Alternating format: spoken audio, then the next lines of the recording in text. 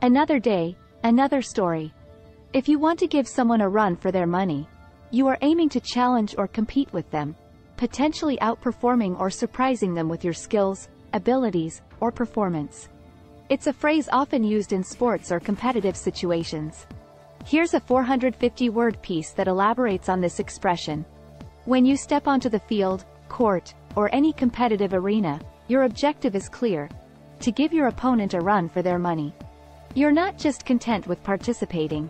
You're determined to leave a lasting impression by showcasing your skills, talent, and unwavering dedication. Giving someone a run for their money means not allowing them to rest easy or take victory for granted.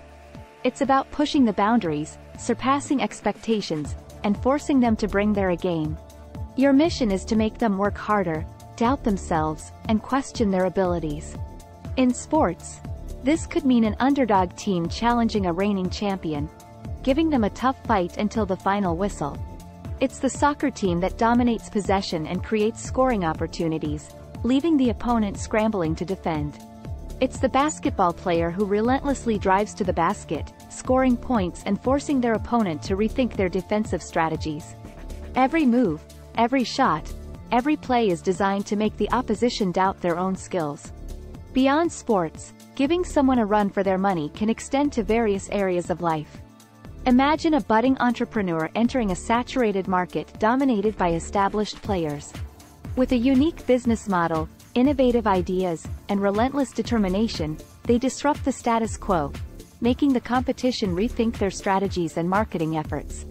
In academics, it's the student who tirelessly studies, engages in thought-provoking discussions, and consistently challenges conventional wisdom. They raise the bar and inspire their peers to excel, leading to a more intellectually stimulating environment for all. In the workplace, giving someone a run for their money might mean being the employee who consistently exceeds targets, delivers exceptional results, and brings fresh perspectives to the table. Colleagues and superiors take notice, realizing that they must step up their game to match your level of performance.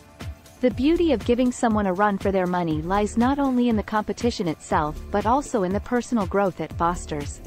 By pushing boundaries and striving to outperform others, you discover new strengths and capabilities within yourself. You gain confidence, resilience, and a greater understanding of your own potential.